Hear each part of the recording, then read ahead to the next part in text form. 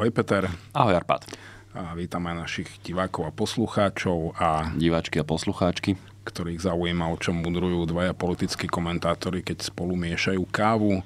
Oproti mne sedí Peter Tkačenko, komentátor denníka ZME a ja som Arpad Šoltes, komentátor televízie JOJ. E,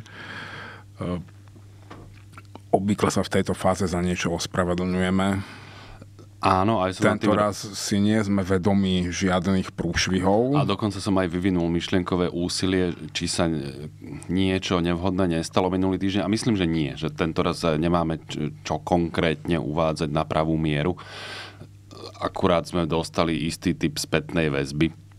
E, áno, niektorým ľuďom úplne legitímne prekážajú niektoré naše jazykové tyky Ty si príliš zmierlivý, boli to konkrétne moje jazykové tyky. Ja ich mám tiež. Ja, ja naozaj absolvujem to hrozné masochistické okienko každý piatok, keď náš podcast vyjde, keď si ho pridám niekam na sociálnu sieť, ja si ho pozriem práve preto, aby som videl, čo všetko robíme zlé Ty si naozaj masochista. A teda hlavne, čo ja robím zle, e, vždy ma pri tom skrúca od trápnosti. Keď sa na to dívam, je to, je to mimoriadne bolestný proces. E, úporne sa snažím odbúravať tie chyby, nadužívanie spojky že a podobne.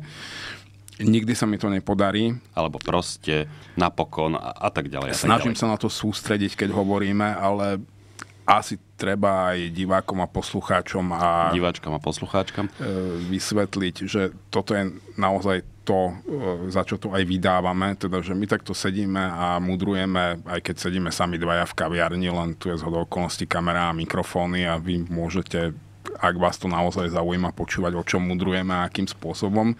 Občas sa vám prihovoríme, ale to je, to je celý rozdiel oproti tomu, ako keď sme sami e, v pohostinskom zariadení.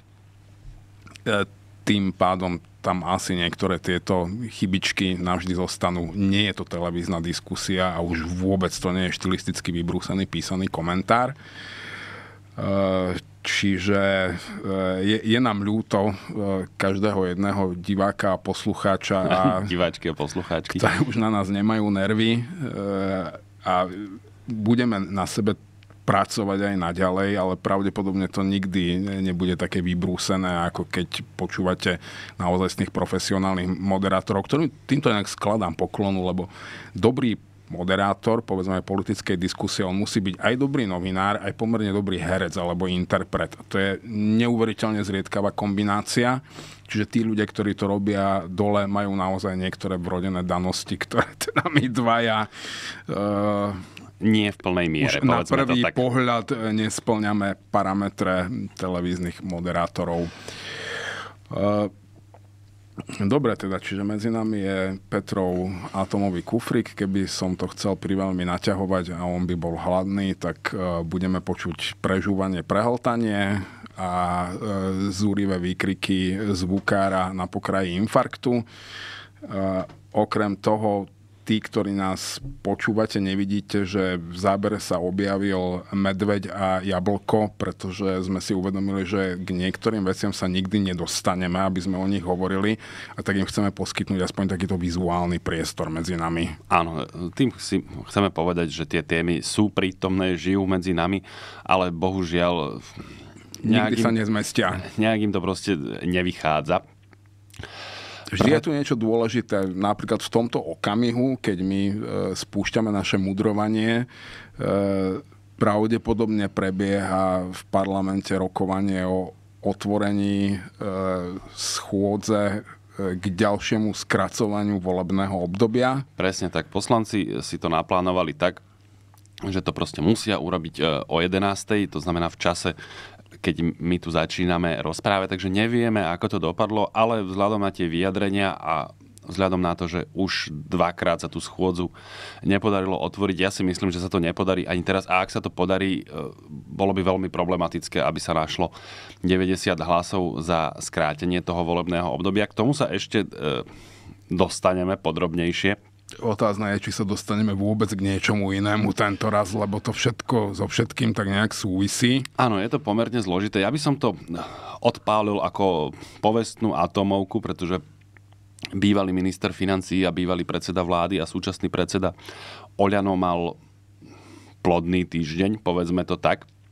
Myslím si, že v útorok som sa cestou z jednej udalosti dozvedel o tej jeho fantastickej, hm, fantastickom návrhu na to, aby sa všetkým voličom, ktorí sa zúčastnia najbližších volieb, vyplatilo 500 eur v hotovosti. E, to má, to, on to netresol len tak na tlačovke, má to naozajstné paragrafové znenie.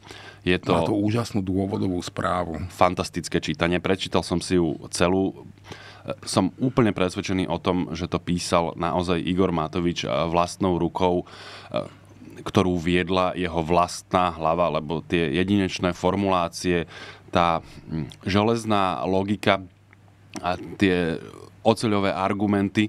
No, ak ju zhrnieme, tak e, odôvodnenie toho 500 eurového e, darčeka každému, kto je ochotný prísť voliť, je, že všetci robia zle Igorovi Matovičovi, nikto nedokáže doceniť jeho genialitu a keď nechceme, aby tu vládol Fico s fašistami, tak musíme dať ľuďom po 500 eur, aby prišli voliť niečo iné ako Fico s fašistami. Myslím si, že si to zhrnul pomerne... Myšlienka za tým je zrejme, že teda, aby konečne prišli tí ľudia, ktorí ešte nedostali šancu neoceniť genialitu Igora Matoviča a ocenili ju. Tam je hneď niekoľko fascinujúcich rovín. Jedna je samozrejme už, už ten nápad, čo je nie, nie, nie, niečo absurdné. Podľa mňa to nemá v tejto podobe analógiu eh, nikde na svete z mnohých rozumných dôvodov. Mňa Mňa to v istom zmysle potešilo, lebo my tu väčšine vedieme ten spor o tom, či Igor Matovič je alebo e, nie je, povedzme to takto, že intelektuálne podpriemerný. A toto je naozaj spektakulárne, očarujúco, fenomenálne a svojím spôsobom až geniálne hlúpe, čo si on vymyslel, lebo reálny efekt je, že ty pritiahneš k voľbám, kto chce ísť voliť, ten pôjde voliť bez ohľadu na to, či mu dáš alebo nedáš 500 eur. Tými 500 eurami môžeš prilákať ľudí, ktorým by v živote nenapadlo ísť voliť. A tí ľudia ale tiež vnímajú, čo sa tu deje. A oni zo všetkého najviac vnímajú to, čo sa im práve teraz deje zlé, bez akéhokoľvek širšieho kontextu. To znamená, že oni prídu, vezmú si tých 500 eur s radosťou, a hodia to Robertovi Ficovi, alebo, alebo fašistom, Mazurekovi. alebo niekomu podobnému a budú si nadšene v kúte medliť ruky, že ako dobre s tým Matovičom vybabrali. Presne tak. Že on si vlastne kupuje hlasy pre svojich najhorších nepriateľov. To, to je úžasné. Teraz som asi 4 krát e, prikývol, e, to hovorím pre poslucháčov a poslucháčky, ktorí to, e, ktoré to nemohli vidieť. Ty si tým asi chcel ilustrovať, aké je to hlúpe, ale toto bola jedna práve z tých rovín, ktoré som vravel, že tam vidím hneď niekoľko naozaj fascinujúcich rovín, tak toto je jedna z nich. A ono je to nesmierne škodlivé, aj, aj vo fiskálnom rozmere, aj v tom rozmere, ktorý si práve ilustroval, ale ja si nemyslím, že toto je vec, ktorá by Igorovi Matovičovi unikala, že, že on by to nevedome robil. Podľa mňa on to robí práve s tým vedomím a, a k tomu sa potom dostaneme ďalej že to je jeden z prostriedkov, ako sa pomstiť e, e, poprvé tejto republike ako takej, ktorá na ňom napáchala mnohé škody, a potom jej občanom, ktorí sa previnili ťažkým zločinom, že nedokázali oceniť jeho spásonosný prínos pre nás všetkých, jeho genialitu, jeho dobrotu a keďže sme takto zlyhali, no tak si zaslúžime naozaj veľký trest a toto je v zásade z jeho pohľadu najlepší trest, aký pre nás môže vymyslieť. A čiže to vlastne niečo ako keď Nero zapáli Rím. Povedzme, ja, ja si nepamätám presne okolnosti zapálenia Ríma, to, ja teda nielen preto, že by som tam nebol, ale... Je to, je to viac menej e, zmes historických faktov a legend úplne presne nevieme. Určite nevieme, čo sa odohrávalo v Nerovej hlave a pokiaľ viem, ani nevieme presne, že teda naozaj on nechal ten Rím vypáliť, alebo je to len black PR jeho nástupcov. Ale je to trochu tak, že eh, ak ma vy nechcete, tak si teda majte toho Fica hajzli a užite si to s ním. Svojím spôsobom. Mne napadla jedna taká vec cez týždeň. To nepovedal... je také perfidné, že by to mohla byť pravda. ešte som to nepovedal nikde náhlas a nenapísal, tak toto je dobrá príležitosť. V nejakej rovine mi to pripomína správanie Vladimíra Putina voči Ukrajine.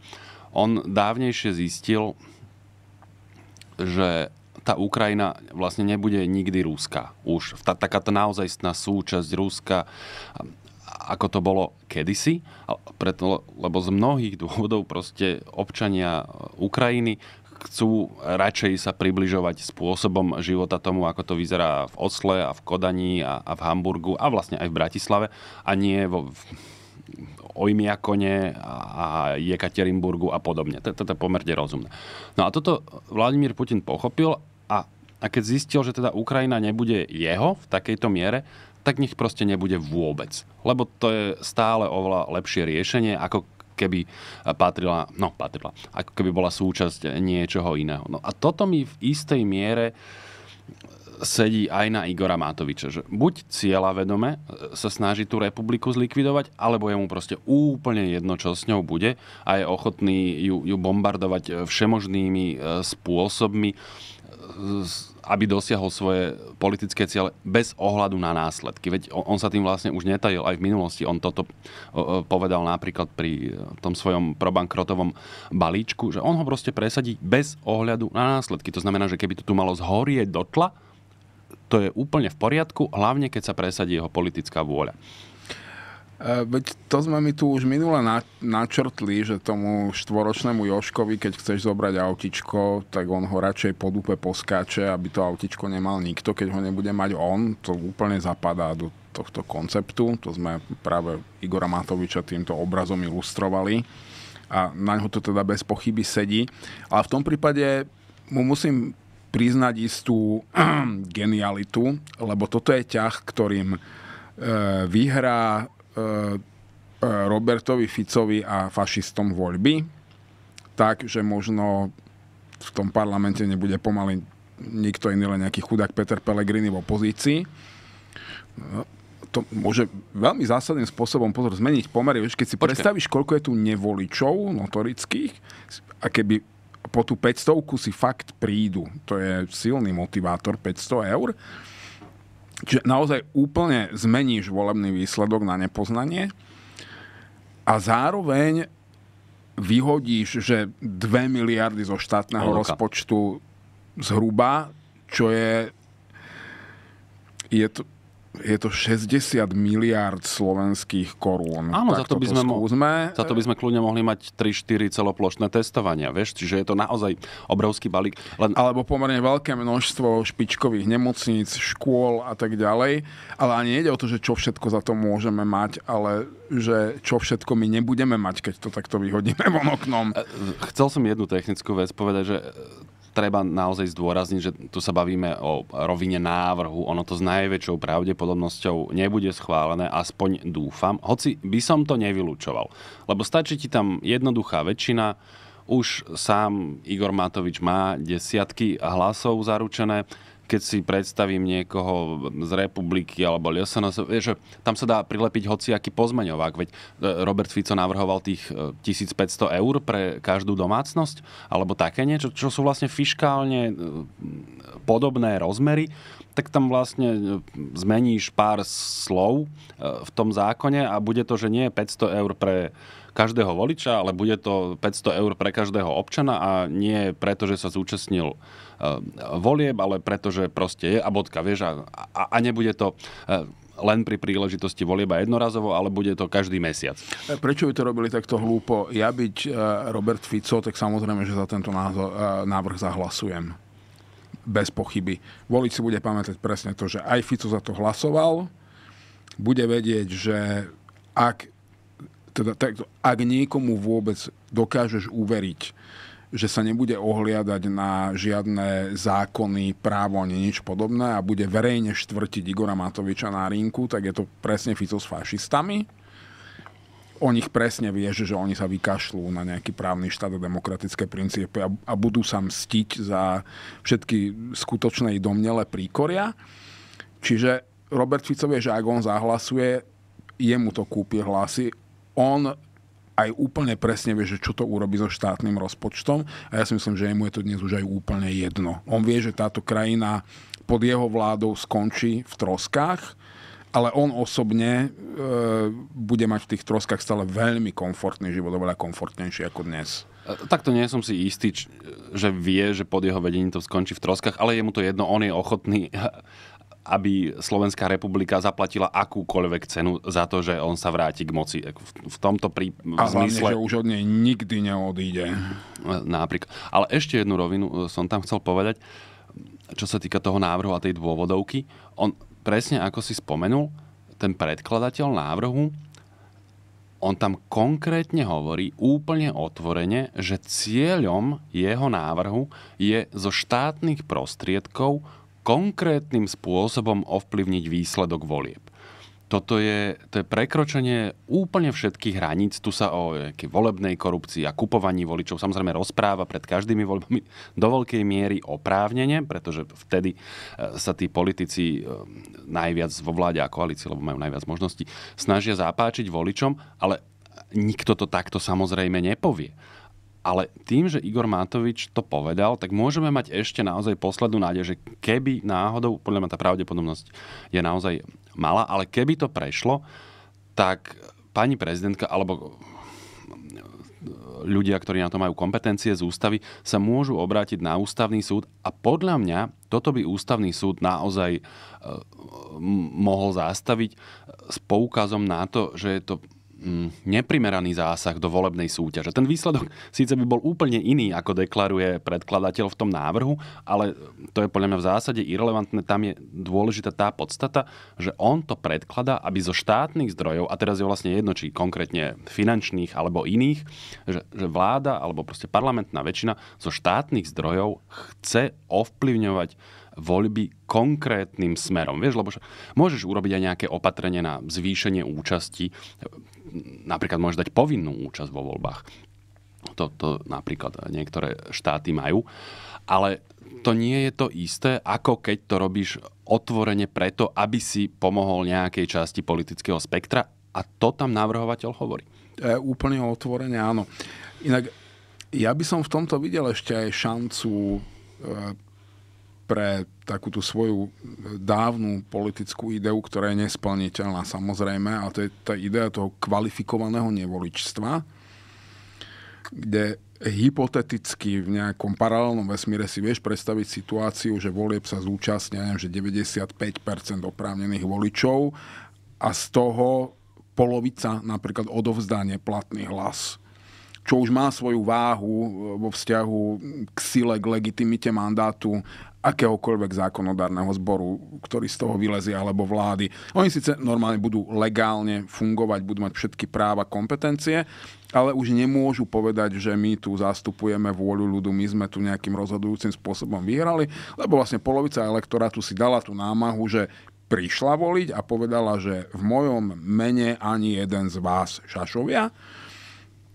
A pri tých 500 keby sa podarilo urobiť, vieš, takú kampaň, že zoberte si 500 eur a dajte neplatný hlas, lebo to je tiež úplne legitimné, by sa toto normálne dalo dosiahnuť. E, dalo by sa to nedosiahnuť. Nie, to, to, máš krajiny, kde existuje nejaký biely lístok alebo v posovietskom priestore. E, mne sa strašne páči tá formulácia, pretože e, kedy si som chcel mať krčmu, ktorá by sa tak volala, tak oni majú také, že proti všetkým, hej, alebo po česky proti všem. Môžeš normálne že odvzdať, že hlasuješ proti všetkým kandidátom, ale sú to maximálne jednotky percent ľudí, ktorí takýmto spôsobom hlasujú. No však ale za to nedostanú 5 kg ale veď to je, proste ten volič, keď už tam príde, on si takmer vždy niekoho vyberie. To, to by si musel ono sa to vlastne nedá zariadiť, Ale aby to boli nikdy, desiatky nikdy percent. na svete za to nikto nedostal 500 eur, že prišiel. Ale to chápeš? je úplne irrelevantné. To on, proste v okamihu, keď tam príde, tak on si niekoho vyberie až na nejaké drobné výnimky. Lebo on aj tak nikoho nechcel, on chce iba tých 500 eur, takže jemu nič nebráni napríklad to, čo som robil ja vždy, že som vložil všetky lístky do obálky a zahodil som ich do urny, alebo môžeš hodiť prázdnu obálku do urny stále to nič nemení na tom, čo som povedal. Ja Volič sa takýmto spôsobom správať nebude. Dobrou edukáciou a dobrou kampaňou, lebo ty ty tu opakuješ to, že volič sa takto nespráva. Isté, volič nikdy nebol v tejto situácii, on sa tak nemal šancu správať. Toto nevieme, toto, toto stojí za pokus. Ak to prejde, že budú dávať 500 eur za hlas, teda za účasť na voľbách, tak v tom prípade treba naozaj skúsiť neviem kto, niekto z občianského sektora by sa toho mohol chytiť. Normálne masívna kampaň za takéto kvalifikované nevoličstvo, že normálne prídem a poviem, že v mojom mene nikto z vás a vezmem si za to tých 500 eur. Zdá sa mi to ako naozaj veľmi teoretická diskusia a som presvedčený, že by si nebol úspešný Lebo s za normálnych okolností príde volič do volebnej miestnosti len keď chce voliť on tam nemá žiadnu inú motiváciu. Preto je to, čo hovoríš ty. Za normálnych okolností to sedí. Áno, on príde preto, lebo si chce niekoho vybrať a je nás veľmi malé percento, ktorý prídeme týmto spôsobom dať najavo, že v mojom mene nikto z, tých, z toho, čo je v ponuke. To, to, je, to je marginálne a to nikdy nebude iné ako marginálne. Ale keď do toho prinesieš tento prvok finančnej motivácie, to úplne mení pravidlá hry. Nemení. Úplne ich mení. Môžeme sa nezhodnúť, ja som si istý a presvedčený, že nemení, môžeme sa potom staviť o ten človek sa nepríde hlasovať, on, on príde po 500 eur. To je obrovský Rozumiem, nie, v, tej ok- v tom okamihu, keď on sa tam ocitne vo volebnej miestnosti, keď dostanete hlasovacie hárky, on si niekoho vyberie až na nejakú veľmi e, drobnú výnimku, ktorá sa môže pohybovať v jednotkách percent. A ak zoberieš špecificky tú skupinu, ktorí naozaj strašne nechcú voliť, ale prinútili ich e, prísľubom 500 eur, tak tam sa môžeš dostať na, na nízke desiatky percent v zmysle 10 plus niečo, tak samozrejme odhadujem. Môžeme sa potom, keďže rád vravím, že najlepším testom presvedčenia je test peniazmi, ak by to náhodou prešlo, môžeme sa staviť aj o väčšiu sumu, ale zdá sa mi to ako parciálna téma, prešiel by som ako e, ďalej, aby sme sa potom dostali e, k tomu e, jadru, čo sa týka tých ja predčasných volieb. Ja som si prihrať svoju polievočku, bol by som rád, keby sa toho nápadu niekto chytil. Totiž po útorku prišla ďalšia atómovka a tá už nezískala takú publicitu, ale podľa mňa je vo svojom obsahu podobne závažná. Totiž Igor Mátovič navrhol zmenu financovania platov poslancov, tak aby už ich plat nedosahoval výšku trojnásobku priemernej mzdy, ale len jednonásobku, to znamená, že by sa to znížilo asi o nejakých 2600 eur, strieľam od boku ale... Pohyblivá zložka. Ale politická strana, ktorá ich, na ktorej kandidátke sa dostali do parlamentu, by mohla v ľubovoľnej výške, a to je dôležité povedať, naozaj v ľubovoľnej výške im vyplácať e, peniaze. On vám v dôvodovke píše na základe aktivity a, a neviem čo, ale v skutočnosti to znamená, že, že tá strana by mala voľnú ruku, čo je nebal by som sa povedať škandál tento návrh, lebo to je v skutočnosti popretie, ono to má opäť niekoľko rovín, je, je to popretie slobodného mandátu, pretože tá strana automaticky by si vedela zaviazať tých poslancov tým, a samozrejme nemala by revolver, nemohla by ich zbaviť mandátu, ale tá možnosť, že či im dá 5, 10, 20 tisíc eur alebo milión napríklad ako koncoročnú odmenu, by tam bola. A to už si teda aj e, všelijaké slobodné vedomie a svedomie rozmyslí, ako sa bude správať. A potom nejde len o to, že, že by dostali tie peniaze, ale z akých zdrojov.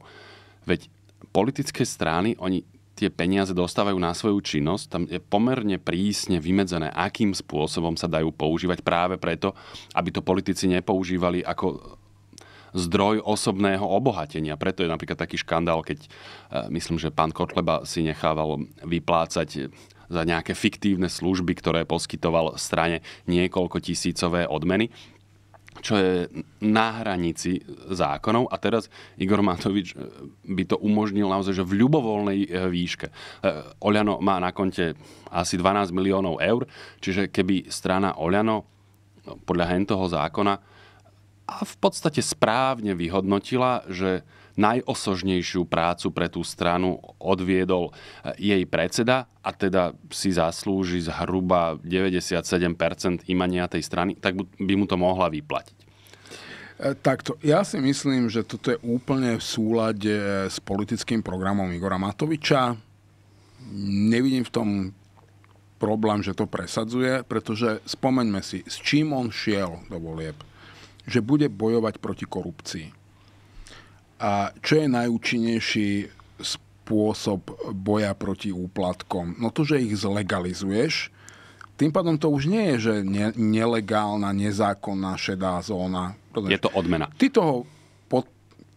Áno, ty toho poslanca normálne legálne zaplatíš za to, aby hlasoval tak, ako ty chceš, on z toho odvedie dane, odvody.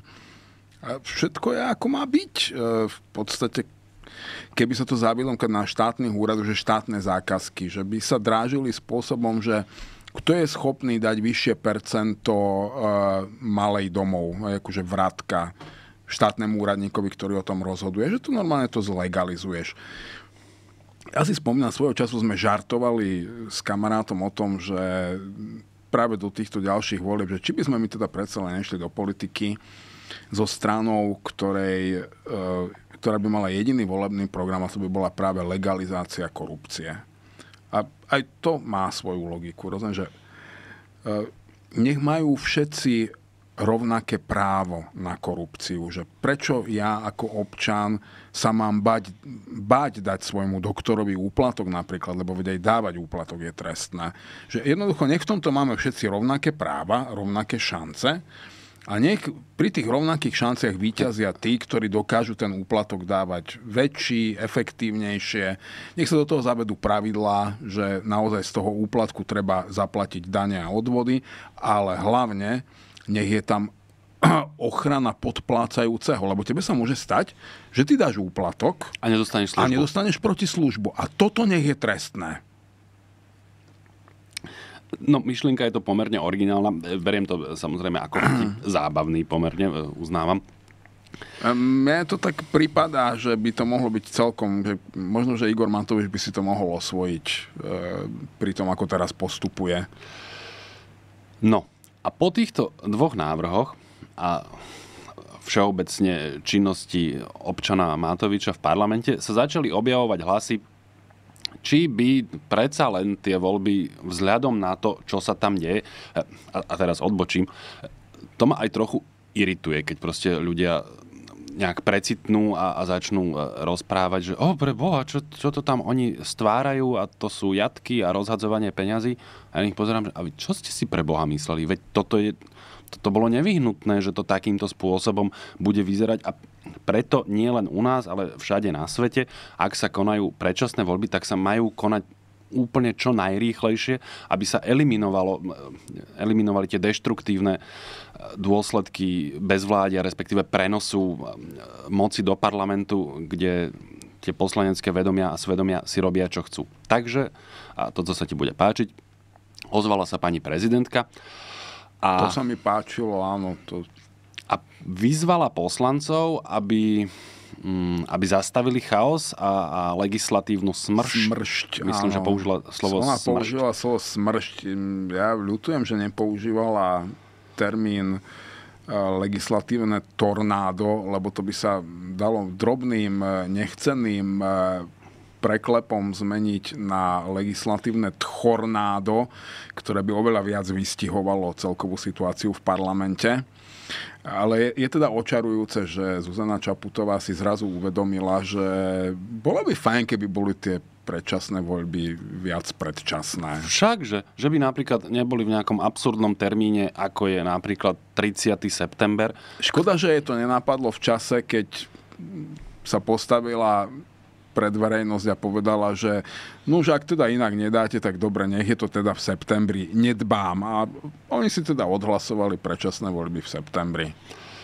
No, ty budeš na pani prezidentku o niečo príkrejší, ale no, nepáči sa mi to, pretože presne ako ty si toto ilustroval, ona to predsa mala, ak, ak nie priamo v rukách, mohla intenzívnejším spôsobom vyvíjať činnosť, ktorým by to tlačila k čo najvčasnejšiemu termínu volieb a, a nechala si to ujsť.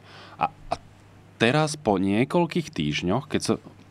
On, ono sa, že nič dramatické nezmenilo ja, ja neviem, že z čoho pramení vlastne tá zmena jej názoru, že zrazu treba, že toto, že v parlamente vidíš Igora Matoviča, veď jeho sme videli niekoľko, dokonca vlastne už rokov vieme, akú činnosť robí a asi vieme, ako sa, teda ak, ak si politicky trochu gramotný, tak, tak vieš, ako to asi bude vyzerať. Celé to fascinujúce, vieš v čom, že už začneme u Richarda Sulíka, že musíme zbaviť vládu Igora Matoviča, to je zásadný cieľ, aby on nemohol ovplyvňovať moc.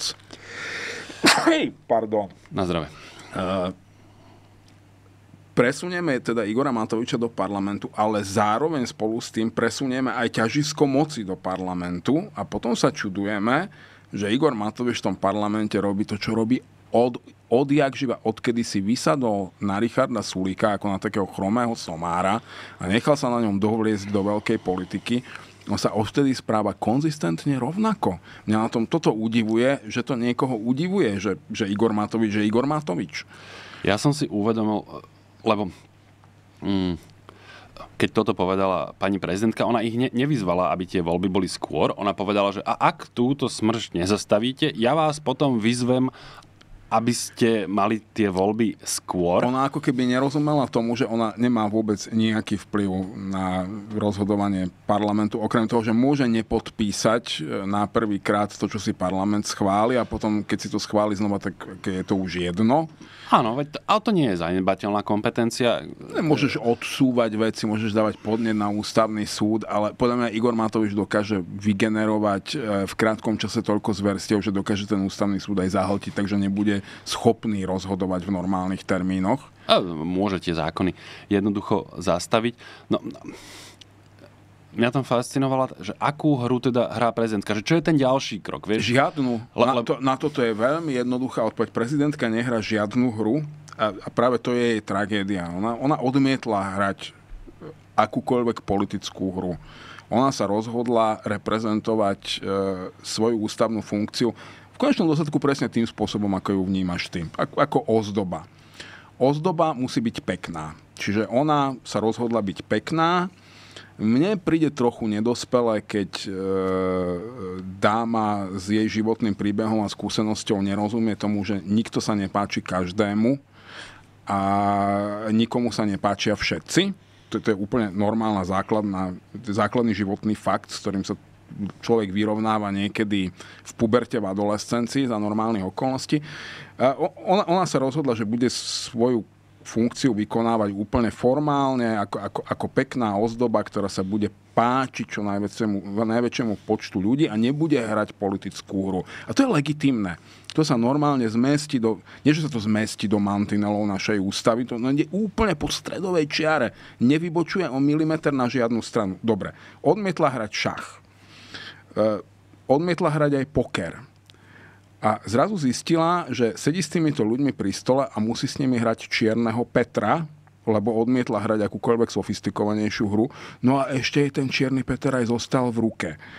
A to ako, ja som dostatočne zlomyselný človek na to, aby som sa na tomto, že božsky zabával.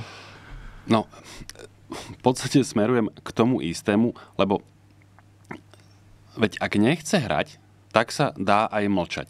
Vieš, a ona mala tak, v tom, mlča, mne to prišlo prípade. ako taký e, náhly porýv e, pudu ze, seba záchovy, ale veľmi zle e, usmernený, alebo že sa, sa, sa vydal veľmi zlým kanálom, ako keby ten výtrisk pudu seba záchovy, že sa vydala tým alibistickým smerom, že musím sa postaviť a povedať niečo, čo bude mať váhu, a, aby si tým nejak pred úbohými zvýškami svojich obdivovateľov prikryla sedacie svalstvo, ale v podstate tým z neho iba urobila, že luxusný terč. Ona na seba upozornila, že existuje.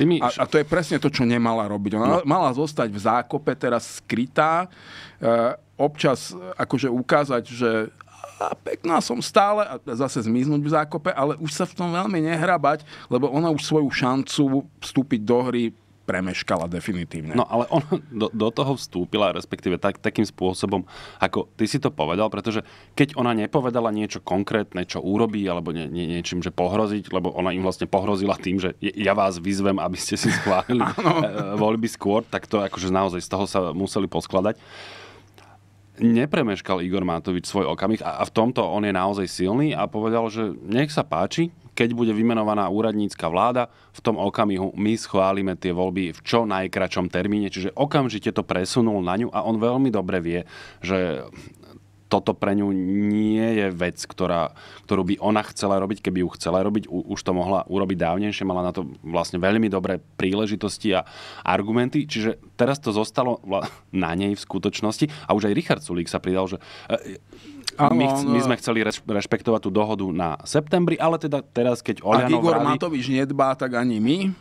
Presne tak. Čiže nech sa Hoci... páči. A teraz ako keby zostala náťahu e, pani prezidentka v tom zmysle, že ona si teda môže dosiahnuť svoj cieľ. Stačí, aby urobila tento pomerne závažný, ale legitímny politický akt. A ja si trúfnem ale povedať, že ona ho neurobí. Vieš? Čiže jej zostane v rukách to, čo ty si povedal, a je to ten Čierny Peter, a, a ja nerozumiem... Čierny Peter je dosť nesofistikovaná hra teda a ona ju dokáže prehrať, to je na tom očarujúce. Ale veď v tom paláci podľa mňa pracujú gramotní, vzdelaní, nie hlúpi ľudia. A toto je trojčlenka, ktorá nie je úplne zložitá. Tam vie, že keď ty s týmto prídeš, tak ono sa ti to nejakým spôsobom okamžite vráti. Oni nebudú zbožne na teba pozerať. Nepochybujem o tom, že v paláci pracujú ľudia, ktorí sú gramotní, bystrí, dokonca skúsení a rozumejú svojej robote Jediný problém, ich robota nikdy nebola politika a ako vidíme, nikdy ani nebude. Jednoducho Zuzana Čaputová si vybrala veľmi zle svoj tým poradcov pravdepodobne. Tam skutočné politické výsledky vidieť len v oblasti zahraničnej politiky, pokiaľ sa pozrieš smerom dovnútra netuším. Pre, predpokladám, že tí ľudia majú skôr iný ako politický background, že ich ona postretávala možno skôr v nejakých e, mimovládnych, občianských a veľmi prospešných aktivitách. Asi neuvedomila, že to nemusí byť e, dostatočná kvalifikácia, že ty tam jednoducho musíš mať nejakého toho svojho Machiavelliho, ktorého ani len nemusíš mať rád. Že to, to je spravidla človek, s ktorým nechceš chodiť na kávu a nechceš si ho volať domov na večeru, lebo je ti ľudsky nepríjemný, ale ktorému to rozmýšľa, ktorý je dostatočne perfidný na to, aby dokázal predvídať perfidné útoky e, súperov a dokázal ti vysvetliť, že e, aké sú možnosti, čo, čo môžeš hrať, aké sú možné kombinácie, trochu s tým analytickým myslením a predvídavosťou. A ja si myslím, že tento typ poradcu ona jednoducho dnes nemá. Čo je ale jej zodpovednosť, ona si ho mala nájsť a vybrať cieľene, bez ohľadu na nejaké osobné sympatie. E, možno ho má, len ho nepočúva, to, to nevieme. To je druhá Skôr by som áno. sa priklonil k tomu, že aj nemá, ale aby sme neboli príkry len na pani prezidentku, zaujal ma aj Richard Sulík, ktorý po tej legislatívnej smršti e, Igora Matoviča, a teda jeho správaní, keď sa ozvali tie hlasy schválte teda tie predčasné e, voľby skôr, je to iná špecifická vec, k tomu sa potom dostaneme asi, tak on povedal niečo, z čoho mi naozaj zhoreli obvody, vyrazilo poistky a vyvrela voda, že to je len dobre, že toto sa deje v skutočnosti, pretože tie návrhy Igora Matoviča nemajú šancu prejsť, on je proste už len radový poslanec, nemá už ani taký veľký klub a tak ďalej. Takže je to dobré a správne, pretože občania môžu vidieť v priamom prenose, čo je on za človeka a aký je to šašo a vezmú si z toho ponaučenie a pomôže im to dobre sa rozhodnúť vo voľbách. Lebo on si myslí, že pre nich dobré rozhodnutie, dobrým rozhodnutím vo voľbách je on sám. Pravdepodobne si to myslí. On má v tomto veľmi podobný problém ako Igor Matovič, s tým rozdielom, že Igor Matovič už vie, že táto krajina odmietla jeho génia. Richard Sulik to ešte nevie. Ona to ešte len musí prísť. E, takto mo- možno, že a, a to hovorím teoreticky, dúfam, že ma nikto e, nechytí za slovo, že aj keď pripustíme možnosť, že Richard Sulík a, a jeho strana je dobrá a správna možnosť vo voľbách, mám naozaj veľmi vážne pochybnosti, že občania na základe dívania sa na to, čo robí Igor Matovič, e, tí občania, ktorí doteraz nevedeli, čo on je zač a, teraz sa to dozvedia, že oni by sa teraz v húfoch prikláňali k dobrým, racionálnym riešeniam, ktoré opäť teoreticky pripustíme, predstavuje SAS. Pre účely tejto diskusie dobre, lebo inak je to pre mňa veľmi ťažké aj hypoteticky pripustiť. Prepač, nechcel som ťa trízniť, ale proste pre, pre ten argumentačný konštrukt je to pomerne dôležité. Ja to vydržím. No, ja si myslím, že tí poučení občania, oni sa rozhodnú trochu inak. A tiež výrazne nesúhlasím s tým, že to je vlastne neškodné, keď tie návrhy prejdú. No, ja si myslím, že, že tento typ pôsobenia vrcholového politika v parlamente, ten rozvrat, chaos, použijeme slovo bordel, lobotomizácia akéhokoľvek politického myslenia, to má práve, že aj bez nejakej legislatívnej koncovky to má úplne devastačné škody e, na slovenskú spoločnosť. A, a toto, keď sa má diať do septembra, a ja, ja si myslím, že asi bude, to dopadne proste škaredo. No. Ja by som sa tak opýtal Richarda Sulíka, že čo si on takto myslí, že ako má dnes nepoviem, že dôveryhodnosť, ale že nejakú že autoritu e, v mysliach e, bežných ľudí Národná rada Slovenskej republiky ako inštitúcia. Nie vysokú. E, obávam sa, že sú iné, ne, iné ústavné zariadenia, ktorých osadenstvo vyvoláva v ľuďoch dnes väčší rešpekt ako poslanci Národnej rady. Ľudovo sa tomu napríklad hovorí že v Pezinku, že Cajla, vieš, Pinelov ústav napríklad je tiež ústavné zariadenie, ktoré má nejaké osadenstvo a nikto by tomu osadenstvu tam nezveril, a teraz nemyslím na odborný personál, ale na tých, ktorí sú tam často aj že z rozhodnutia súdu, že musia byť na, na uzavretom v uzavretej časti ústavného zariadenia. A myslím si, že e, niektorým z nich by sme s väčšou ochotou vkladali do rúk e, osuda správu krajiny ako súčasnej Národnej rade, keď vidíme, čo sa tam deje. A že takéto zverstvonka dokážu že prejsť do nejakého druhého čítania. Plus, ja by som si nebol taký istý tým, že toto nemôže mať legislatívnu koncovku ja som nepovedal, Lebo, že, že som si tým istý. Jasné, to, to teraz nepolemizujem s tebou, ale s Richardom Sulíkom. Už rozumiem, ďakujem. Lebo aj Richard Sulík bude chcieť niektoré veci vyhandlovať tam a je bude... tam veľa ľudí, ktorí si chcú niečo vyhandlovať a na rozdiel od Richarda Sulíka oni už navyše vedia, že toto je posledný krát. Teraz alebo nikdy a bude sa s nimi dať handlovať. Čiže môže, ešte budeme prekvapení, že čo všetko môže prejsť. A pripomínam, my sme na začiatku my sme úplne na začiatku. To ešte, to môže 8 mesiacov gradovať. Toto ma aj trochu vydesil kolega Filip Obradovič, ktorý niekedy cez On to že neviem, neviem či to útorok alebo streda, on presne napísal, že máme za sebou, ja neviem, 15 dní. 17. deň, myslím, a čaká a nás ďalších ešte 270. ďalších 270, čo ešte aj mne vyrazilo dých, keď som si prečítal Filipov titulok, týmto ho pozdravujem a gratulujem. Toto bol titulok roka u mňa. Alebo, to už bolo myslím v texte, ale...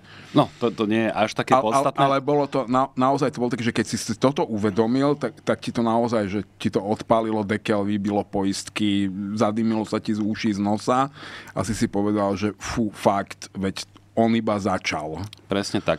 A, a tých e, dobrých nápadov, ich bude mnoho, budú mať mnohomiliardovú podobu, to, to som si istý. Neviem, koľko miliard akože stihnú aj, aj schváliť. Aha, on je skvelý dramaturg. On vie, že ty musíš niekde začať a potom to musíš gradovať.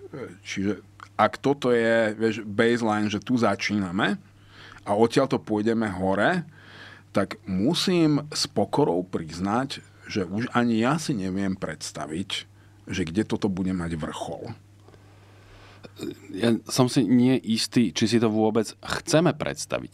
E, ja sa občas pokúšam na, o tom rozmýšľať. Paradoxne, ja som e, v ten útorok, keď... No, v útorok som potreboval napísať skôr komentár a keďže cez ten deň sa toho ešte veľa neudialo, tak som tak zauvažoval, veľmi voľnú úvahu som dal, že čo všetko by ešte e, mohli poschvalovať a kam porozhadzovať peniaze. A dal som len také úvodné kolo, že do mája, hej, a som tam narátal niečo v dôchodkoch a krížom krážom. Vyšlo mi to na nejakú, ja neviem, miliardu až dve odoka. No a spokojne som ten text odoslal. A potom, keď som sa vracal e, z jednej udalosti, na ktorú som potreboval ísť, tak som si otvoril správy a a tam bol ten Matovičov návrh na tých 500 eh, eur vo voľbách za 2 miliardy, čo on vybavil proste eh, jedným návrhom, tak sa mi, no, vybilo mi tie poistky a vravím si, že no toto by mi napríklad nenapadlo. A oni prídu na ďalšie nápady. Napríklad tento návrh, keď neprejde. písal na na môj Facebookčik, že, že chudák Tkačenko práve vydal komentár o tom, že ako tu rozhadzujú na nejaké sociálne a a aha, medzi tým Matovič, že 1,5 miliardy to bolo ešte vtedy tak nahrubo odhadnuté. A som si hovoril, že hm, niekedy je dobre prokrastinovať a písať tie komentáre až tak pod večer. Potreboval som to skôr. No a toto, keď, to je vlastne jedno, či je to 1,5 alebo 2 miliardy, keď už sa pohybuješ proste v tejto rovine, že naozaj vedome rozhadzuješ tie peniaze, aby si zbankrotoval, tak si vravím, že keď toto neprejde, tak oni si vlastne môžu pokojne povedať, že aha, veď tu sme ušetrili 2 miliardy a tým pádom by sme ich ale mohli použiť na niečo iné, vieš, lebo tak peniaze, ktoré si neminul, si logicky ušetril. A počkaj, to ešte nerátaš úplne dobre, pretože to je, že 2 miliardy mať a 2 miliardy nemať, to sú 4 miliardy. Čiže tu, keď sme ušetrili tie dve, ktoré teda nedáme za tie hlasy vo voľbách, tak môžeme minúť 4 na niečo iné. Teraz som sa strátil trochu v tej matematike, ale som si istý, že v parlamente je dosť poslancov, ktorí by túto matematiku nielenže pochopili, ale privítali s otvorenou náručou. No a, a to sa bude diať. Čiže čo, čo ne, na čom nerozumieš tematike? Že zredukuj si to z tých miliard normálne, že mám 2 eurá plus 2. Nemám 2 eurá minus 2. Rozdiel medzi tým je 4 ja som asi pomalší, prepač. A, a to som, myslím si, si, že aj integrály... Si, si to, si to ja viem, že 2 plus 2 sú 4. Toto viem, toto zvládam, ale... To no. je 4 rozdiel, čiže keď tu sme chceli minúť 2 miliardy, ale sme ich predsa neminuli, môžeme minúť 4 podľa mňa lebo z minus 2 sme sa dostali na plus 2, chápeš, neminuli Áno, sme ich, máme ich. Mne sa zdá, že sme sa nedostali 4 na plus môžeme 2. rozhádzať. E, no z teba by nebol dobrý spasiteľ, tak Pri, ti poviem. Pripúšťam, toto to sú veci, v ktorých ja som slabší. No, ale zdá sa mi, že ešte stojí za zmienku aj mm, ten samotný fakt, to, to res fakt, e, meritorne, ten návrh na skrátenie volebného obdobia, pretože oni ho už skrátili na ten 30. september, ale to neznamená, že, že už, keďže tie voľby ešte ani neboli vyhlásené, na, na to má ešte predseda parlamentu čas, tak sa môže schváliť aj nejaký skorší termín a ja som hoci nie je asi žiadne tajomstvo, že ja som bol prívrženec čo najvčasnejšieho termínu vlastne v okamihu, keď bolo zrejme, že to smeruje do havárie a to bolo niekedy v septembri, čiže my už sme tie voľby mali mať za sebou. Ale toto šaškovanie, že naozaj schváliš už nejaký termín a potom schváliš nejaký iný, to sa mi zdá nie šťastné a rozmýšľam, či to vyváži tie, tie no, prínosy, alebo ako to nazvať. Veď, áno, je, je dobré a rozumné, aby tie voľby boli čo najskôr, ale toto je špecifická situácia, keď už proste nejaký termín schválili. Hoci je tam polahčujúca teda okolnosť, že neboli ešte vyhlásené tie voľby. Ja nechcem byť zlým prorokom, ale ak bude ten termín veľmi vzdialený a otvorí priestor na to, aby buchol kotol, tak tie voľby nakoniec vážne nemusia byť. Ja viem, že to znie ako strašné sci-fi. E, toto sa v ľudských dejinách normálne deje, hej, že dostaneš ľudí do takého zúfalstva a takého hnevu, že, že fakt, že buchne kotol, hovorí sa tomu revolúcia potom. Ona vie vzniknúť úplne spontánne. Nemusí mať teraz žiadnu predvídateľnú koncovku, hej, že v čí prospech, ako, čo, ale naozaj tu tlačia veľké množstva ľudí do e, takého emocionálneho rozpoloženia, že ja by som sa už začal bať, že toto môže skončiť aj oveľa horšie, ako si predstavujeme. Že ten scenár, že Robert Fico demokratickou cestou zvíťazí vo voľbách, posklada vládu, a rýchlou cestou zavedie nejaký klon kremelského režimu, že no, normálne v riadnom, riadenom procese vystúpi z Európskej únie, vystúpi z NATO, e, stane sa pevným spojencom Ruskej federácie v Strednej Európe, možno za to zaplatí nejakou malou časťou e, územia Slovenskej republiky. To, to všetko je, to dnes znie akože desivo, ale keby sa to dialo, to tak postupne to tak plinie a e, ja ti garantujem, že behom niekoľkých týždňov je to pre každého, že to je nová norma. Hej, business as usual. Nikto sa nad tým nepozastavuje, všetci si na to zvyknú. Budeme o niečo chudobnejší, dobré. Ako to, toto, to nestojí priamo nejaké ľudské životy. Ale, ale keď zatlačíš ľudí do, do takého hnevu, že, že naozaj, že buchne kotol, že, že vezmú tie vidly a kosy nie obrazne, ale naozaj, že ich chytia do rúk a pôjdu niekam, to už môže mať oveľa horšie následky. A my sa, my sa tu naozaj zahrávame ešte dnes nie, ale ak to bude gradovať týmto tempom, tak e, o také 3-4 mesiace už na mňa nebudeš takto čudne pozerať. Myslím si a dúfam, že budem toto nie, toto nie je proroctvo, to je naozaj to je varovanie pred nejakým trendom, ktorý ja tu existuje. Rozumiem. Pozri sa, predstav si, že niekto ide po diálnici v protismere s plynom na podlahe. Ak poviem, že sa o chvíľu zabije, ne, nebudeš mať pocit, že veštím z kávovej usadeniny alebo z kryštálovej gule, že konštatujem zjavné. No, toto nie je ten prípad, hoci vieme, že sa Ak o to toto aktéry... nie je diálnica v protismere s plynovým pedálom, ktorý sa stále viac blíži k podlahe, tak už fakt neviem čo. Sú horšie situácie za horších okolností s inak motivovanými aktérmi. Ja, dobre, elaboruj, lebo Uh, po pandémii, počas vojny s takými aktérmi, ako je Igor Matovič a Robert Fico, poprosím ťa, načrtni mi tú horšiu situáciu. S horšími aktérmi. Môžeš byť v pandémii s oveľa, oveľa chudobnejším štátom, s ešte oveľa rozvrátenejšou hm, nejakou sociálnou e, kohéziou, ktorá napriek všetkému tu je stále pomerne silná. Môžeš byť napríklad že naozaj vo vojne. Hej, ty, ty si použil toto, že vo vojne. No, my vo vojne nie sme v takomto bezprostrednom zmysle, v nejakom prenesenom zmysle môžeš povedať, že e, vedieme vojnu s fašizmom Ruskej federácie, ale tá vojna sa predsa len odohráva niekde inde. My, my tu naozaj žijeme relatívne komfortne. To sme si hovorili aj v 39. áno.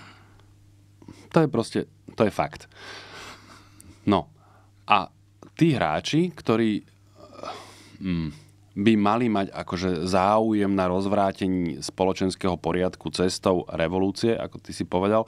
Oni, oni nemajú dôvod to robiť a, a ty ich väčšinou potrebuješ, tých hráčov, na to, aby si to rozpútal takým naozaj tým spôsobom.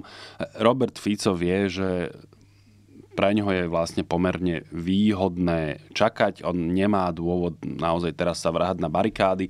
Možno, že keď mu to v tých voľbách nevíde, tak, tak by akože potreboval ďalej eh, hecovať eh, spoločnosť. Ale teraz na to nemá celkom dôvod. Čiže toto všetko, keď dám dohromady... A, a revolúcie sa, sa nedejú naozaj tak ľahko. To je naozaj silné e, slovo. Ako varovanie to nie je zlé. Ale myslím si, že tá erózia spoločenského a hospodárskeho a medzinárodného poriadku na Slovensku bude prebiehať skôr tým štruktúrovanejším spôsobom. Tie následky e, samozrejme môžu byť podobne desivé, ale nie, nemyslím si, že ľudia s faklami a vidlami sa vydajú do ulic, pretože hoci tí politici stvárajú strašné veci, tí ľudia sa v zásade majú dobre naozaj ti odporúčam e, trochu sa obzrieť e, mimo hlavného mesta. Nie, v zásade sa má veľmi zle stále väčší počet ľudí, čo ty si odmietaš pripustiť. Odmietam. Ale je to tak. Chodíš nakupovať potraviny? Vieš čo, nemám rád t- tento typ ako keby, že vypočúvania. Ja si myslím, že sme rovnakí občania a, a rovnako e, vidíme, čo okolo nás sa deje. Akurát... Ja som ja... tým chcel povedať, že ja už e, začínam vnímať ceny potravín, čo sa mi nepodarilo za 53 rokov môjho života. Ja som, prišiel som, nahádzal som do košíka, na čo som mal chuť, pri pokladni som zaplatil kartou, takže ani som nevedel, aké tam svieti číslo. A teraz sa mi niekoľkokrát po sebe stalo, že normálne mi takto trhlo hlavou, keď tam zaznela tá cifra a že tak akože som že fúha, pozrel som sa, že čo v tom košíku mám a že už som naposledy som na pozeral cenovky, že čo koľko stojí. Uh, neviem si predstaviť, ako vyzerá nákup človeka, ktorý nie je v tej príjmovej kategórii ako naša domácnosť. Už sme to tu e, rozoberali veľakrát. Ja to skúsim trochu inak povedať. Inak e, do veľkej miery e, mám rovnakú skúsenosť ako ty s nakupovaním potravín, aj tú predchádzajúcu, aj tú súčasnú a v podstate aj nejakým spôsob, podobným spôsobom uvažujem, že ako to majú ľudia napríklad s podpriemernou mzdou ale ja si stále chudobu a biedu predstavujem úplne inak ja viem, holodomor, to máš v genetickom kóde. A, ale... nemyslím, nemyslím teraz doslova holodomor naozaj, ale tá Ukrajina tam zohráva nejakú rolu. Z rodinných dôvodov som tam naozaj roky, rokúce až vlastne do začiatku vojny pravidelne cestoval a videl som, akým spôsobom sa tam napríklad aj po, po revolúcii rozvrátil spoločenský a hospodársky poriadok, čo malo úplne inú škálu ako u nás. Tam tá životná úroveň bola výrazne nižšia aj pred revolúciou, ale to, čo sa dialo po nej, to je... To je vlastne ja ne... som bol v nejakom 92. 3. na Ukrajine, že si to pamätám. Toto sa s našimi to poriadkami šialené. skoro e, nedá porovnať.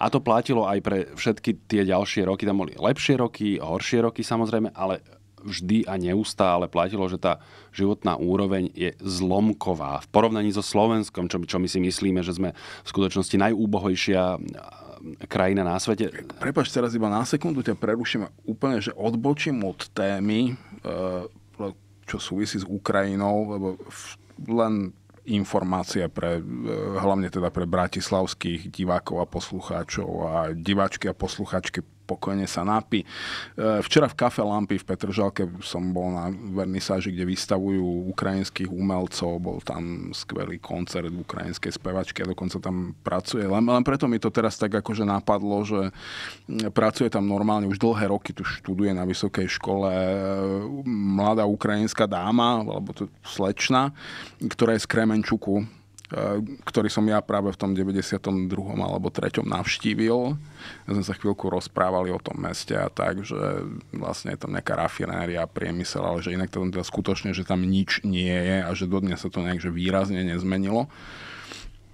A teda oplatí sa e, pozrieť si aj výstavu, že tam vystavujú naozaj zaujímavé výtvarné diela pozvanku na výstavu sme tu ešte nemali, ale e, nič proti tomu. Ja som v zásade je to, končil... Je to nekomerčná ani... kultúra, čiže toto si asi môžeme dovoliť. E, ja som to e, nemyslel nejako zlom. Je, je to naozaj taká komunitná záležitosť, kde podporujú naozaj rôzne aktivity na podporu Ukrajincov, ktorí ušli k nám a ktorí tu získali útočisko, čiže preto to spomínam. Tým všetkým som chcel povedať, že aj aj, aj 90 roky sme tu spomínali, alebo začiatok 2000, keď bolo Slovensko na proste oveľa chudobnejšie ako dnes. Tí ľudia si reálne... Ja, ja viem, že je aj rozdiel, ne, nestojí to len na absolútnej e, sume, treba z tvojich príjmov alebo aktuálnej životnej úrovni, ale na zmenách, samozrejme, ale vychádza mi to tak, že na, sme, sme nesmierne ďaleko od toho typu prejavu e, spoločenskej agresivity, ktorý zvykneme nazývať revolúciou. Ne, nevidím na to dostatočne silné predpoklady. Ja, ja by som dnes nestavil peniaze na to, že tu budú sociálne nepokoje, rabovania obchodov a vešanie bohatých ľudí, že eat the rich, ale e, určite by som, teda ja osobne, že veľmi úzkostlivo sledujem to, čo sa deje, aké sú trendy, e, veľmi pozorne sledujem správy a keby som videl, že to smeruje k hrubému násilu, tak som pripravený odtiaľ to, že zmiznúť e, naozaj rádovo v desiatkách minút. Mám to tak pripravené. E, nedá sa tým nič pokaziť, lebo vieš to, že ty si na niečo pripravený a to nenastane, to ti v žiadnom ohľade nikdy neublíži. Pre mňa samozrejme ten neskorší termín volieb je lepší Bo ja ako skeptik si nemyslím, že tieto voľby ešte majú ako dopadnúť dobre. Zvlášť keď vidím, že čo sa deje v tom politickom spektre, ktoré akože to, to, to krajšie, to rozumnejšie, to dobré, to prozápadné, proeurópske a prodemokratické. A, a nájsť vhodnú nehnuteľnosť, nájsť e, vhodnú prácu, proste vhodné miesto pre budúci život, to tých 8 mesiacov aj trvá. Čiže u mňa voľby na konci septembra, že ideálny termín, naozaj. Ak, ak nepodnikáš nejaké takéto opatrenia, tak v zásade ten skorší termín je podľa mňa oveľa výhodnejší. Uh, ty si spomenul nejakých uh, aktérov, ja by som prešiel skôr na tých horších. A, ani nie, že ja, ale viem, že, že ty si chcel niečo porozprávať o Robertovi Ficovi, ktorý v podstate očakávaným spôsobom zareagoval na ani nie, že kauzu, ale tému odovzdania našich migov. lietadiel Ukrajine. Oni dokonca keďže som naozaj náčeným poslucháčom vášho ranného podcastu, tak práve tam sa to aj pomerne de- detálne to riešili kolegovia, že tá reálna trhová hodnota toho MIGu, že účtovná je niekde úplne inde, ale že, že reálne, keď to lietadlo chceš predať v tomto stave v nejakej aukcii, tak za ňo dostane, že 2 milióny, povedzme. Naozaj tak? Ja by som čakal, mm. že desiatky miliónov to nie, musia nie, byť. Nie, nie, nie, že to je na, naozaj, keď to chceš predať na voľnom trhu so zbraniami, tak za to dokopy nedostaneš nič. Uh, je to niečo, za čo nám pravdepodobne naši spojenci sú ochotní zaplatiť, že pomerne, že veľkorysý podiel tej účtovnej hodnoty, čiže vlastne na tom že brutálne zarobiť finančne, keď to posunieme Ukrajincom, čiže aj ten zištný motív tam ešte je v pozadí, keď to dáme Ukrajine, že vlastne na tom zarobíme kráľovsky. A nehovorme teraz akože pre, pre mňa je naozaj morálny imperatív, že Morálna rovina to je úplne Ukrajine, jasná. pretože my sme naozaj po Ukrajine ďalší na rade. Ale to, to je presne to, čo e, Robert Fico fenomenálne triamfa tým, kam on presúva ťažisko volebnej diskusie, že my tu na Slovensku chceme mier a nechceme vojnu. On keď hovorí, že on chce mier, on tým samozrejme myslí práve ten ruský mír, čo znamená aj ruský mier, aj ruský svet. E, on je už s týmto zmierený, že on má budúcnosť naozaj len v Rusku alebo pod ochranou Moskvy a Kremľa. E, dáva to všemožne najavo a hrá presne na ten, ja to môžem, že to je riadiaci algoritmus slovenskej spoločnosti zbabelý oportunizmus, že teda naozaj my nechceme, aby nás prišli Rusi e, mučiť, Tantry. vraždiť a znásilňovať. Nás netreba znásilňovať. My si stiahneme gate a potom, aby sme si zachovali seba úctu, povieme, že to bola láska. Je to naozaj to, že my vieme, že ak naštveme Američanov, Nemcov, Francúzov, kohokoľvek, no tak nám, nám nebudú už dávať peniaze, tak budeme chudobnejší. Ale ubližovať nám neprídu. Neprídu nás zabiť, ani znásilniť, ani mučiť, ani nič podobné. Ešte Rusi by radi prišli si zarabovať, zaznásilňovať, zazabíjať že aj bez toho, aby sme im dávali akýkoľvek dôvod, ale keď budeme dostatočne podlízaví a ponížení, tak nás možno budú len znásilňovať a nezabíjať. A toto je naša tisícročná stratégia prežitia. Robert Fico ju veľmi presne triafa. Navyše on vie, že on e, v demokratickom civilizovanom západnom svete nielenže nemá budúcnosť, on, on sa tu musel báť o svoju osobnú slobodu. On nepripustí, aby sa toto niekedy jemu znova stalo, aby sa to zopakovalo. Čiže on, on je pripravený e, prevzať znova moc demokratickým spôsobom, ale zároveň celkom určite nie je ochotný pripustiť, aby ešte potom niekedy v budúcnosti po nejakých voľbách musel riskovať, že o moc príde. A on nemusí nič vymýšľať. Akože Viktor Orbán mu nakreslí normálne celý model, ako sa to robilo, on to bude musieť veľmi skomprimovať v čase. To bude som to chcel povedať, že rýchle a to naozaj nie je také jednoduché. Uh, je, je, uh, len musí, uh, nesmieš mať zábrany a on ich už dnes mať nebude, lebo si ich nemôže dovoliť, to je celé. Však kde on dostal vlastne priestor na to, aby mohol povedať, že ja tu chcem mať rovnako stabilnú vládu, aká je v Maďarsku. No práve v maďarských médiách. To, to nie je žiadna náhoda že sa práve tam prezentuje. Predpokladám, že je pripravený za to zaplatiť nejakú geopolitickú cenu a nebude prvý. Zaplatil ju Jozef Tiso po viedenskej arbitráži bez odvrávania a myhnutia oka odovzdal Južné Slovensko-Maďarsku. A vieš, čo je fascinujúce? Že obdivovateľia Jozefa Tisa, ktorí medzi nami stále chodia, mu to nikdy nevytkli. Že najväčší národovci nemajú najmenší problém s tým, aby sa zosekali nejaké časti Slovenska, keď nebudeme predsa bojovať, nie? Aj tak tam žijú len nejakí Maďari, no to nech si to berú. Čiže v tomto je podľa mňa Robert Fico úplne jasne čitateľný a keď, sa, keď ho pustia znova k moci a, a urobí to a bude mu to chcieť niekto vyčítať, tak ten niekto k tomu to vyčíta je fakt, že debil, imbecil. Lebo Robert Fico, proste on je, on je len to, čo je. Je to oportunista, ktorý už keď bol v komunistickej strane, tak nebol žiaden on, že hlboko vnútorne veriaci komunista, rovnako ako to nikdy nebol nejaký progresívny mladý ľavičiar, ani, ani Blairovská tretia cesta, ani, ani sociálnym demokratom nikdy nebol. Jediným záujmom Roberta Fica je Robert Fico. A momentálne má pocit, že si zachraňuje život a slobodu a za to on predá kohokoľvek a čokoľvek a tohto si podľa mňa niekde na nejakej úrovni musia byť vedomí všetci vrátane jeho vlastných voličov. Myslím si, ak som ťa dobre pochopil, si povedal, že, že ten, kto by mu to vyčítal, by bol idiot alebo nejaké také slovo. Ja si myslím, že totiž ja mu to vyčítať budem, ak sa to náhodou e, bude diať, no náhodou, ak sa to bude diať. Ale ne, pre, zle som formuloval, ne, ne, nebudem vyčítať prekvapený. mu to môže, ale nesme takto, že kto bude z tohto prekvapený a bude hýkať, že hm, ja som tomu neveril a mali ste pravdu, ak mi toto niekto povie, ja sa to Prvýkrát v živote sa dopustím fyzického násilia. To, ne, to si nemyslím, že takého človeka uh, nájdeš. Ale áno, ten, ten Obávam kto sa, z toho že áno. bude prekvapený, tak to môže byť možno Richard Sulík, hej, že, ktorý Napríklad. je prekvapený z toho, akým spôsobom uh, sa správa Igor Matovič a podobne. Ale mal som tam jednu poznámku, keď si spomenul totiž toho Jozefa Tisa, nie že by to bolo nejaké dôležité, ale včera sme sa o tom, e, sme na to narazili v debate s kamarátmi v Krčme, e, v kontexte Ukrajiny a Roberta Fica a tak, lebo Robert Fico teda volá, volá po miery a po rokovaní a zároveň tiež on sa prezentuje ako, že on je ten vlastenec, jemu ide o suverenitu a národnoštátne záujmy a tak, ale to nie je tak dávno, takže si to môžeme pamätať.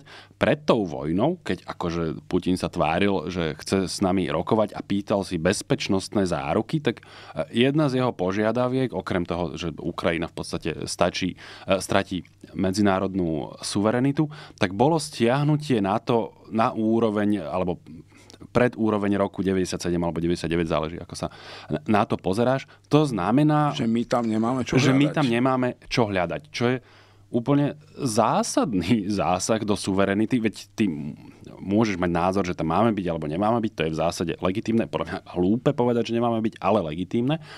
Ale Robert Fico ako suverenista, ktorý zjape na Berlín a Paríž a Brusel a Londýn a Washington, ktorí od nás v zásade nikdy nič nechceli tohto typu. Oni, oni na, nás e, nedriapali, e, aby sme boli e, v NATO a v EÚ. Oni privolili, aby sme tam boli, ak teda chceme. V celku nepremyslenie a unáhlenie, áno. tak keď z Moskvy zaznieva tento typ požiadavky obmedzenia našej suverenity, tak ja som z, zo sídla Smeru od Roberta Fica a, a nespomeniem to meno radšej, jedného z poslancov Smeru, nepočul ani, ani pol slova, že by Ten sa ohradili. sa tu neobjaví ani ako plišová figurka, uh, kým nebude ministrom zahraničných vecí. Potom si zaobstaráme plišovú figurku? Potom, Asi budeme potom o ňom určite bude, jeho budeme rozprávať, ale podľa mňa už nie v tomto podcaste. No, to, to som len tak na okraj, ale, ale považujem to za dôležité povedať, že tí ľudia ani formálne v skutočnosti um, nepresadzujú nejakú suverenitu Nemusia. Slovenskej republiky. On, oni vedia, že pre ten elektorát, na ktorý cieľia, to stačí. E, to, za tým nie je nič racionálne. To je naozaj to je presne tá, tá, ten zbabelý oportunizmus, že my sa tu moci nepriečime, e, vždy sa skloníme, vždy sa pokoríme, nech po nás akokoľvek veľmi šliapu, len nech nás nezabíjajú. A keď je šanca, ju nejakým spôsobom podviesť, okradnúť. Preto sa tu vyvinulo, že krádež je zločin, ale nie je hriech. To je vlastne hrdinstvo, keď, keď okradneš zeme pána. To je, to je frajerina. A my, a my tu stále máme ten vzťah k moci, čiže dar, darmo tá moc ako keby, že pochádza od nás a že my už teraz, že okrádame samých seba, ale to... My vnímame, že ona to je tisícročný kultúrny vzorec, ktorý ty nezmeníš za 30 rokov vnímanie v tom ľudovom povedomí, že že ukradnú niečo štátu je vlastne dobrá vec a že to je legitimná korisť každého, kto si to ukradnúť dokáže, ak, ak to dokáže uniknúť, že vyhnúť sa trestu. To, to, to je hrdina. To, to, to bude trvať, to, to by trvalo stáročia, keby sme dostali šancu toto zmeniť, lebo to sú tie vzorce správania, ktoré ty nedostávaš v škole, alebo niekde, že to, to sa prenáša v rodinách z otca na syna po dlhé, dlhé generácie okorenené naozaj vnútrorodovým krížením v malých izolovaných vidieckých komunitách, dlhými generáciami alkoholizmu, endemická idiocia z nedostatku jódu, že naozaj tu tá populácia na tom bola hrozne v čase, keď sme z nej urobili štátotvorný národ. A tých 20 rokov, čo Česi investovali obrovské zdroje do toho, aby to povzniesli na dnešnú úroveň, eh, je jednoducho eh, to, naštartovalo to nejaké zmeny, nejaké procesy. Nehovorím po 89. roku, až zvlášť po, po vstupe do Európskej únie, že tu opäť natiekli obrovské zdroje, ktoré nás ekonomicky veľmi priblížili k západnému svetu, ale presne tá, tá základná kultúrna mentalita, tá mentalita národa, tak sa tomu hovorí obvykle, tá sa ešte po dlhé generácie nezmení a na tú teraz hrá Robert Fico a preto má takú dobrú šancu úspieť. Plus nezabudneme na to, že eh, aj keď mne, mne sa hrozne páči ten tvoj výraz, teda toto to, tvoje spojenie, že či my splňame to, e, geopolitické minimum štátnosti. My sme naozaj veľmi malá krajina, ekonomicky, mocensky, politicky, vojensky, akokoľvek zanedbateľná. Všemožnými štátnymi zdrojmi, áno. Ale v tomto okamihu na rozdiel od západu máme pre Rúsko celkom zaujímavý strategický potenciál, pretože keby sa Slovensko stalo verným spojencom Kremľa, tak vlastne Rúsko vie vpadnúť Ukrajine do chrbta. O to už podľa mňa zachádzaš predsa len e, trochu ďaleko, hoci aj táto vec mi nápadla. A, a, a možno, to, že to, to bolo... sú otázky príležitosti, nie vôle tých aktérov, vieš to, to nie je, že Putin to nechce. To je iba o tom, či môže alebo nemôže. Toto sa mi zdá po všetkých stránkach dnes pritiahnuté za vlasy, ale Mm, nedávno som nad tým rozmýšľal, myšlienky sa mi e, niekam rozbehli a predstavil som si teda, že v 90. rokoch by to u nás dopadlo inak, ako to dopadlo. To znamená, že by z nás bolo e, nejaké Bielorusko, povedzme, a z rôznych dôvodov by sme museli prejavovať e, Rusku ten typ lojality, ktorý musí prejavovať Bielorusko, respektíve Alexander a Lukašenko Putinovi a Kremľu a že teoreticky nejakým riadeným osudu, že či sa naozaj nemohlo stať to, že aj zo Slovenska by sa nejaký front e, viedol, e, teda otvoril voči Ukrajine. V skutočnosti by to nebolo prvý raz e, v našich dejinách. My sme sa na niečom veľmi podobnom už podielali až ma zamrazilo. Nehovorím, že to bol nejaký veľmi e, pravdepodobný scenár, ale že mohol sa udiať. A vlastne som sa tak zdesil a som si povedal, že veď ono to vlastne všetko v skutočnosti pomerne dobre dopadlo. Ja ešte jednu vec som chcel a, a potom už to budeme riadene ukončovať. Zabudol som povedať, pri tej revolúcii, keď som rozprával, že k nej asi e, nepríde, tak podľa mňa ten dôležitý faktor je aj ten, že naozaj čo skoro budú voľby a občania vedia, že budú sa môcť e, prejaviť tam. A, a to si myslím, že samozrejme v nejakej miere urobia a som zvedavý, komu všetkému dajú facku. Uh ja nechcem byť zlým prorokom, ale e, Rusko tu môže naozaj urobiť mnoho vecí, ktoré môžu Robertovi Ficovi veľmi významne pomôcť, e, ak sa správne načasujú. A, teraz že vy, vymýšľajme scenáre, ktoré sa radšej vymýšľame také, ktoré sa skoro určite nenaplnia, len na ilustráciu. Predstav si, že zablúdená e, rúska raketa dopadne na Michalovce, na Slovensku to nevyvolá odpor, ale strach. A to je zase presne, my chceme mier, ne, ne, nechceme dráždiť Rusov, nechceme, aby tu, nedaj Bože, začali aj nás ostreľovať. Dajme to my tomu Ficovi, on nás predtým ochráni. E, predstav si, že tam spadne ukrajinská protiraketová. To ani, to ani nehovoriac. Teda proti, raketa proti, proti vzdušnej obrany. Čiže naozaj Robert Fico má momentálne veľmi silného spojenca na juhu aj na východe, plus tebe to príde ako pritiahnuté za vlasy, ale ono príde ten deň, keď aj ten Viktor Orbán už povie, že OK, že all in, keď na to príde pokyn z Kremľa, že dnes má pre Moskvu väčšiu strategickú a politickú hodnotu, keď bude Maďarsko mimo Európskej únie a mimo NATO, ako keď je vo vnútri a rozkladá to, lebo zatiaľ je toto jeho primárna úloha, preto tam stále je pre, pre peniaze už ani tak veľmi nie. Viktor Orbán ich už má dosť a že ako žije Maďar, to Viktora Orbána až tak veľmi netrápi. Čiže keď, keď do seba takto zapadnú tie kúsky skladačky a keď bude to Rusko dostatočne zúfale, tak naozaj je to, to môže byť aj že vojensky veľmi e, nepríjemná a nebezpečná situácia aj pre Ukrajinu, nielen pre nás. E, plus naozaj všemožné spôsoby podpory Fico z tej Moskvy dostávať bude a možno mu odpustia aj tú zradu s reverzným plynom, e, ktorej sa kedysi dopustil, aspoň na čas, kým ho budú potrebovať, lebo momentálne je to ich najpoužiteľnejší spojenec. A jednoducho len by bolo fajn, keby si ľudia uvedomovali, že naozaj budú rozhodovať o tomto. Trochu je problém, to, to sme už načali, to, to takzvané, že prodemokratické spektrum, kde je neuveriteľne veľa náčelníkov, ktoré ešte stále nenašli ani jedného indiána, ktorého Podľa mňa ty máš teraz na mysli jedného konkrétneho náčelníka. Uh, Chcel som opäť e, vypustiť z úst e, meno Robert Mistrik, pretože práve dnes ráno som počúval e, jeho rozhovor v denníku AN s kolegom Dušanom Mikušovičom, kde Dušan ho rozobral jak hrdzavý bicykel. Ja som mal naozaj, doteraz som bral Roberta Mistrika ako takú, že dokonca mne príjemnú konzervatívnu alternatívu. Ja som si tak predstavoval, že keby kandidoval proti tej Zuzane Čaputovej, ktorá ukázala, že v krízových situáciách je naozaj iba ozdobou a nie, nie, nie je brzdou ani protiváhou ničomu, že či by som neprišiel do pokušenia mu ten hlas odovzdať.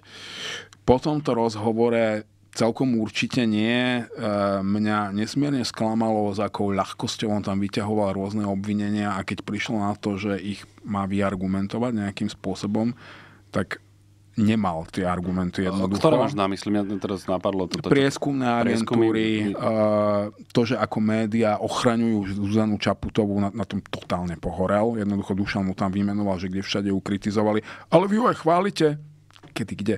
No ja to teraz takto neviem. Keby ste mi boli dopredu poslali otázky, veď toto, túto tému som vám poslal, že budeme riešiť.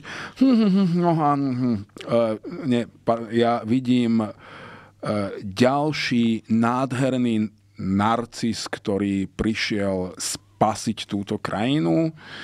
Eh, ja si myslím, že pre svet molekulárnej biológie a analytickej chémie by bol Robert Mistrík tak veľkou stratou, že ho netreba zbytočne vláčiť do politiky. Takto by som to diplomaticky. Ja ten... A, ale problém je, že týchto Robertov Mistrikov sa tu vynorí ešte obrovské množstvo. Pre mňa je ťažké uveriť, že on si... Lebo tak, ja mám pár kamarátov, ktorí sú analytickí chemici. A oni sú všetci brilantní. Oni majú naozaj... To je disciplína, ktorá ti vypiluje analytické myslenie do extrému. A preto e, ja napríklad neverím Robertovi Mistríkovi, keď hovorí, že jeho skutočným motívom nie je vlastne toto, že iba také skôr, že e, nástup do prezidentskej kampane a že on to s tou exekutívnou politikou vôbec nemyslí vážne. A problém je, že v tom prípade on nie je človek, ktorý si to neuvedomuje. Jemu je jedno, že ďalej rozbíja ešte tie nejaké úbohé zvýšky nádeje na to, že možno sa stane nejaký zázrak, že ešte možno vstúpi do hry nejaký nový faktor, ktorý dnes nevieme predvídať a že možno to predsa nedopadne až tak zle, ale jemu je to jedno. On jednoducho ide ešte násobiť chaos, lebo on chce byť prezidentom, podľa mňa. Ja, ja za tým čítam naozaj. On to síce popiera, ale ja mu prosto neverím, pretože Robert Myslík už naozaj nie je hlupák a keby bola pravda to, čo tvrdí, tak by ním bol. Takto ja len podotknem, že, že túto tému si vypýtal Arpad, ja, ja by som ju asi sám nezaraďoval, ale teda keď už sme pri nej a zostávajú nám tie eh, posledné 2-3 minútky, dám aj ja svoje 3 centy, prečítal som si to aj ja a musím povedať, že nemám z toho negatívny pocit v tej intenzite ako ty. Ja som sa vlastne skôr pobavil, tak by som to povedal. Na všetkom, čo ty si uviedol, aj na formuláciách, ktoré pán Mistrik použil, hneď to začína tým, že neocitujem to úplne presne, ale zhruba, takže že úplne ponorený teraz v tej politike a pracuje na tom integračnom e, snažení.